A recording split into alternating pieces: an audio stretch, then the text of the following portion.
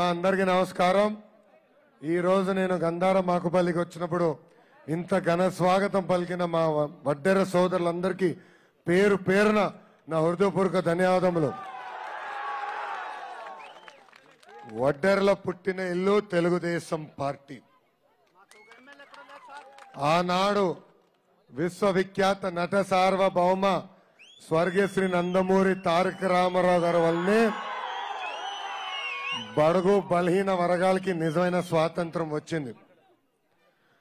స్థానిక సంస్థ ఎన్నికల్లో ఇరవై శాతం రిజర్వేషన్ తీసుకొచ్చిన ఘనత అన్న ఎన్టీఆర్ది. ఆ ఇరవై నాలుగు శాతాన్ని ముప్పై నాలుగు శాతం రిజర్వేషన్ పెంచిన ఘనత మన దేవుడు చంద్రబాబు నాయుడు గారిది.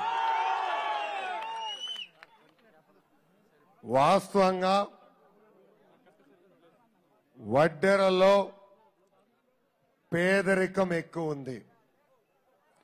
అందుకే రెండు వేల పద్నాలుగు చంద్రబాబు నాయుడు గారు ముఖ్యమంత్రిగా ఉన్నప్పుడు ఒక కమిటీ ఏర్పాటు చేసి వడ్డెరలు ఎదుర్కొంటున్న సమస్యలు ఏంటి వాళ్ళని పేదరికం నుంచి ఎట్లా బయటికి తీసుకురావాలన్న ఆలోచనలోనే ఆనాడు ఈ సత్యపాల్ కమిటీ ఏర్పాటు చేస్తాం జరిగింది.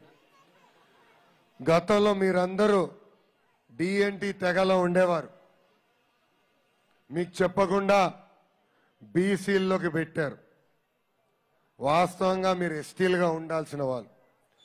కానీ ఆనాడు ఈ తెగ నుంచి మిమ్మల్ని తీసి బీసీలో ఏర్పాటు చేశారు. మీకు రావాల్సిన సంక్షేమం కానీ పేదరికం నుంచి మీకు బయటకు వచ్చే కార్యక్రమాలు చేయాల్సిన అవసరం చాలా చాలా ఉంది. అందుకే ఈ కమిటీ ఏర్పాటు చేశాం.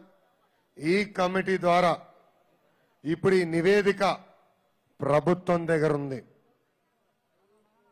జగన్మోహన్ రెడ్డి గారు ఆయన పాదయాత్రలు అనేక హామీలు చేసినాడు. అవన్నీ ఇప్పుడు గోవిందా గోవిందా అవునా కదా? ఒక్క ఆమె నిలబెట్టుకోవట్లేదు.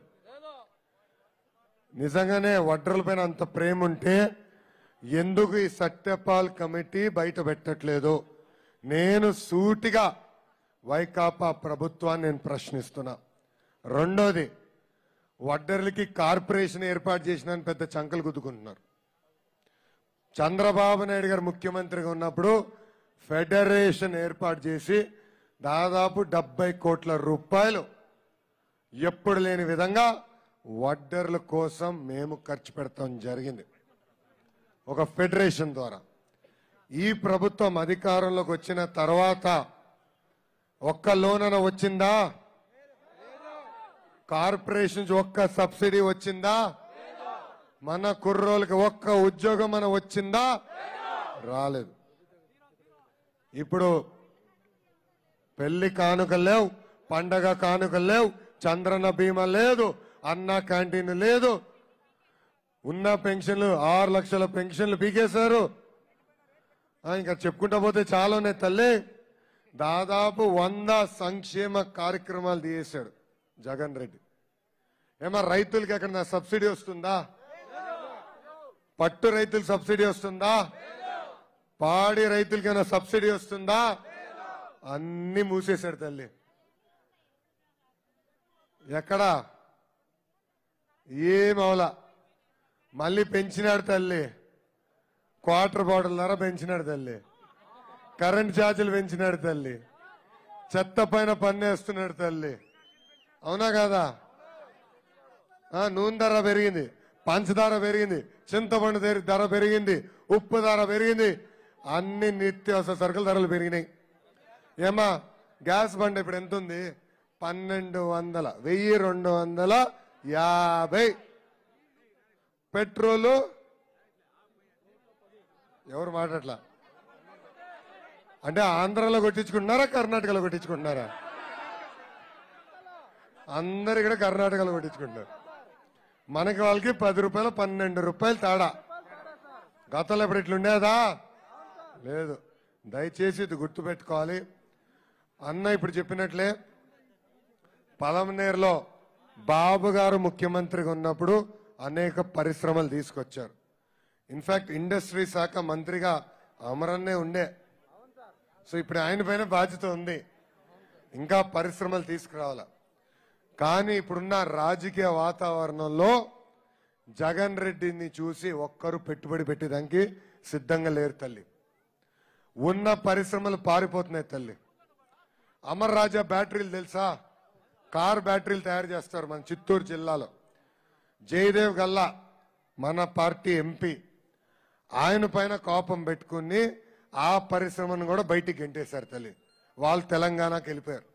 ఆ ఒక్క పెట్టుబడి వచ్చుంటే మన యువతి యువకులకి తమ్ముడు కూర్చో కూర్చో. యువతి యువకులకి పదివేల మందికి ఉద్యోగాలు వచ్చే తల్లి. అలాంటి పరిస్థితి లేకుండా చేశారు. సో యువకులు ప్రధానంగా నష్టపోయారు తల్లి. దీని గురించి ట్వీట్ పెడితే కేసు తల్లి. ఫేస్బుక్లో పెడితే కేసు తల్లి. నిరుద్యోగ యువకులు ఉద్యమిస్తే జైలు తల్లి. కుర్రోళ్ళందరూ వచ్చి నన్ను కలిసినారు. అందుకే పదిహేను కేసులు ఉన్నాయి అప్ప నా పైన. ఎందుకు భయపడాలా? అటెంప్ట్ మర్డర్ ఉంది. అటెంప్ట్ మర్డర్ ఉంది. ఎస్సీ ఎస్టీ కేసు ఉంది. భయం మా బయటలో లేదు. క్లారిటీ అది. మనం ఎక్కడ భయపడాల్సిన అవసరంలా కానీ యువకులు బాధపడ్డారు. అన్నా మాకు ఒక వేదిక ఇవ్వండి. ఈ ప్రభుత్వం వ్యతిరేకంగా మేము పోరాడడానికి సిద్ధంగా ఉన్నాం అని చెప్పారు. ఆ వేదికనే ఈ యువకలం ఈ యువకలం పాదయాత్ర ద్వారా ఆంధ్ర రాష్ట్ర యువతకి ఒక చైతన్యం తీసుకురావాలి. కలిసికట్టుగా నడుద్దాం.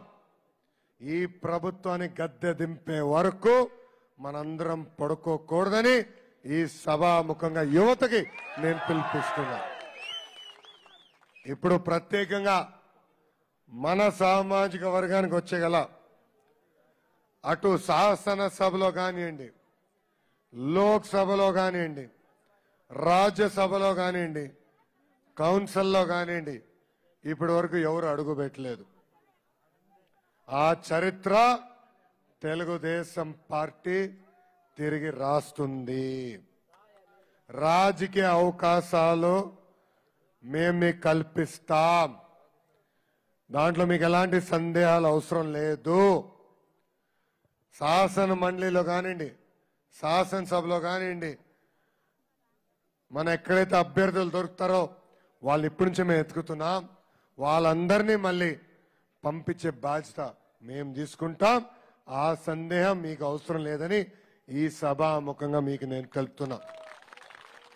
రెండో విషయం. వడ్డర్లు ఎక్కువనేంది ఇక్కడ అనంతపూర్ జిల్లా. మన వచ్చిన గొడవ పెట్టారు. అనంతపూర్ జిల్లాలో అయితే రాళ్ళు కొట్టుకుంటారు. తరతరాలుగా వాళ్ళకి క్వారీలు వస్తున్నాయి. వాళ్ళు కొట్టుకుంటారు అమ్ముకుంటారు. కానీ ఇప్పుడు ఈ ప్రభుత్వ అధికారంలోకి వచ్చిన తర్వాత ఈ పెద్దరెడ్డి మైన్స్ మంత్రి అయిన తర్వాత వడ్డర్ల దగ్గర ఉన్న మైన్లు లాగేసుకున్నారు. మైన్లు లాగేసుకున్నారు. ఎంత బాధో చూడండి. తరతరాలుగా చేసేది. అది అవకాశం పోయా.